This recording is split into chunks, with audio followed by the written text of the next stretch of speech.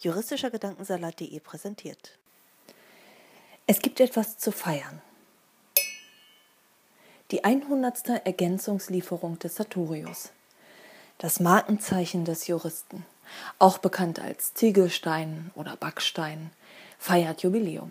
100 Mal wurden die Ergänzungslieferungen akribisch einsortiert. 100 Mal wurde der Sartorius auf den neuesten Stand gebracht.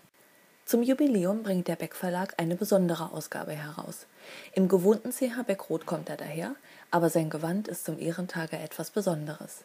In feiner Lederoptik präsentiert sich der Sartorius und bringt auch noch ein ganz besonderes Geschenk mit: eine ausklappbare magnetische Stütze am Ordnerrücken. Damit ist er nicht nur praktisch, sondern er sieht auch noch edel aus. Wer dieses Schmuckstück sein eigen nennen darf, der braucht auch keine Verpackung mehr, um ihn auszuführen. Zum Ehrentage bietet sich gleichzeitig auch eine gute Gelegenheit, einmal die Geschichte des Sartorius zu beleuchten. Warum heißt der Sartorius eigentlich Sartorius? Korrekt bezeichnet handelt es sich um die Textsammlung Verfassungs- und Verwaltungsgesetze und ist der erste Teil der Gesetze des öffentlichen Bundesrechts.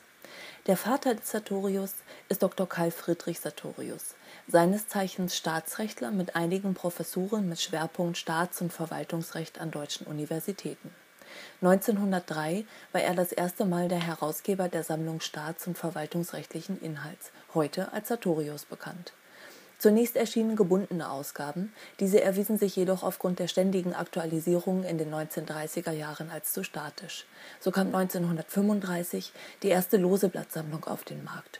Zu damaliger Zeit noch ohne die Steckmechanik, die Dornen, wie wir sie heute nennen, sondern mit Bindfäden.